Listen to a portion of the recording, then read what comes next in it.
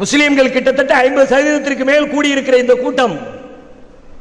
அதிகம் பேர் முஸ்லிம்கள் இருக்கிறோம். நமக்கு இணையாக நம்முடைய தொப்புள் கொடி உறவுகளும் இருக்கிறார்கள். நாம் நடத்துகிற இந்த போராட்டங்கள் கோஷங்கள் குறித்து சவுக்கத்திலே அவர்கள் அருமையான ஒரு செய்தியை சொன்னார். மீண்டும் அதை நான் வலியுறுத்த விரும்புகிறேன்.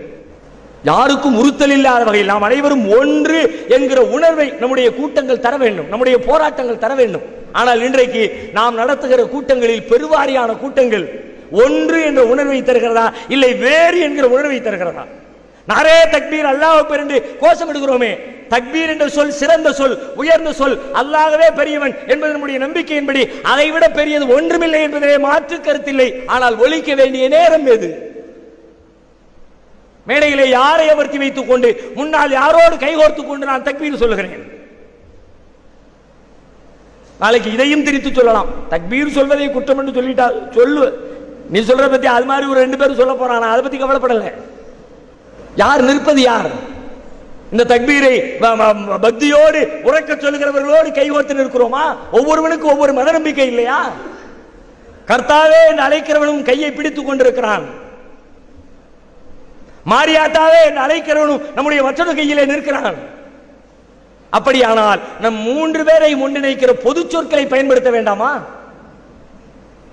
அல்லது பொது சொற்கள்லாம் இல்லாமல் போய்விட்டதா? நம்முடைய வரலாற்றில் நமக்கு கிடைக்காததா? தேடி பார்த்தால் கிடைக்காதா? எத்தனை சொற்கள்? இன்கிலாப் ஜிந்தாபாத். எத்தனை அற்புதமான சொல். புரட்சி ஓங்குக புரட்சி ஓங்குக என்று போராளிகள் முழக்கமிட்டார்களே அந்த பொது சொல்லை பயன்படுத்தினால் எனக்கும் உறுத்தல் இல்லை அலெக்சாண்டருக்கும் உறுத்தல் இல்லை வேறு யாருக்கும் ஒரு அனைவரும் சேர்ந்து வடமாநிலம் ஒழிக்கிறது. ஆசாதி ஆசாதி. விடுதலை வேண்டும் விடுதலை வேண்டும் என்று உரத்து முழங்குகிறது. ஏன் அதை சொல்லக்கூடாதா?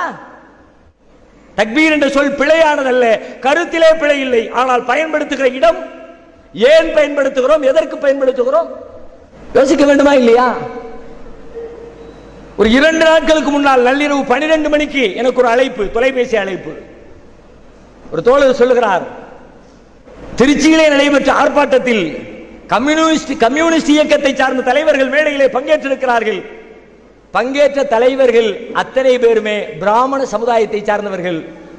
பங்கேற்பு முடிந்ததற்கு பிறகு அவர்கள் வந்து அவரிடத்திலே பேசியதை சொல்லுகிறார். என்ன சொல்றாருன்னு கேட்டா ஒட்டுமொத்தமாக நான் பிறந்த சமூகத்தை சொல்லி படுகொலை செய்வோம் இல்லாமலாக்குவோம் என்று பேசுகிறார்கள். நாங்களும் விரும்பியோ விரும்பாமலோ அந்த சமூகத்திலே பிறந்து விட்டோம். ஏன் அதை பிரித்து உங்களால் பேச இயலாதா?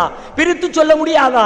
இந்துத்துவாவை ஆதரிக்கிறவன் வர்ணாசிரமத்தை ஏற்கிறவன் இந்து ராஷ்டிரத்தை நோக்கி இந்த தேசத்தை பயணத்தை கொண்டு செல்லுகிறவன் என்று பிரித்து சொல்ல இயலாதா? ஒட்டுமொத்தமாக பிராமணன் என்று என்னையும் சேர்த்து கொடுப்பீர்களே நாங்கள் எப்படி அங்கே அமர்ந்திருக்க முடியும் என்று ஒரு கம்யூனிஸ்ட் தோழர் கேள்வி எழுப்புகிறார். அலட்சியமாக கடந்து விட முடியுமா? கடந்து விட்டால் இழப்பு முதல் இழப்பு யாருக்கு? நாளைக்கு மற்றவர்களுக்கு ஆனால் இன்றைக்கு முதலில் யார் குறி? நீங்கள் தானே குறி நாம் தானே குறி. ஒவ்வொரு கைகளாக நம்மை விட்டு விலகி கொண்டிருந்தால் பலம் குறையுமா குறையாதா? பலத்தை அதிகப்படுத்த வேண்டும் என்றால் அது குறித்து சிந்திக்க வேண்டும். தனிமைப்படுத்துகிற சொல்லாடல்கள் தேவையில்லை. திப்பு சுல்தானை முன்னிறுத்துவதை கூட நான் குறை காணவில்லை. ஆனால் மார்க்க ரீதியாக திருமறை குரானில் சொல்லப்பட்ட வரலாறுகளை எல்லாம் பேசுகிற பொழுது முஸ்லிம்களாகிய நமக்கு அது உணர்ச்சி தெம்பூட்டுகிறது. ஆனால் முஸ்லிம் அல்லாத மக்களுக்கு என்ன ஊட்டும்? நிகழ்ச்சியை துவங்குகிற பொழுது திருமறை குரானுடைய வசனத்தோடு துவங்குகிறோம் என்று கிராத்துவதை ஆரம்பிக்கிறோம்.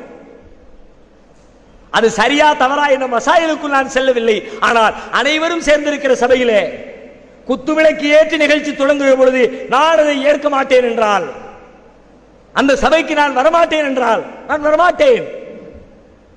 கிராத்து ஓதி துவங்கினார். எனக்கு அதிலே உடன்பாடு இல்லை என்று என் சகோதரன் விலக மாட்டானா? எப்பொழுது சிந்திக்க போகிறோம்? சரி செய்வோம். எல்லாரும் சேர்ந்து சரி செய்வோம். பிழைதான். ஆனால் பிழை சரி செய்ய தகுந்த பிழை. இன்னும் நாட்கள் இருக்கிறது காலம் இருக்கிறது காலம் ஓடிவிடவில்லை. அனைவரும் சேர்ந்து செய்வோம். என்னையும் சேர்த்தே சொல்லுகிறேன். இந்த எதிரிகளை இந்த சூழ்ச்சிகளை முறியடிப்பதற்கு என்னால் இயலுமா என்று கேட்டால் என்னுடைய தனிப்பட்ட அறிவையும் என்னுடைய தனிப்பட்ட பலத்தையும் என்னால் அழித்துவிட முடியுமா என்றால் என்னால் அழிக்க முடியாது. ஆனால் ஒன்று சொல்லுகிறேன் என்னால் முடியாது நம்மால் முடியும் என்பதை மறந்து விடாதீர்கள்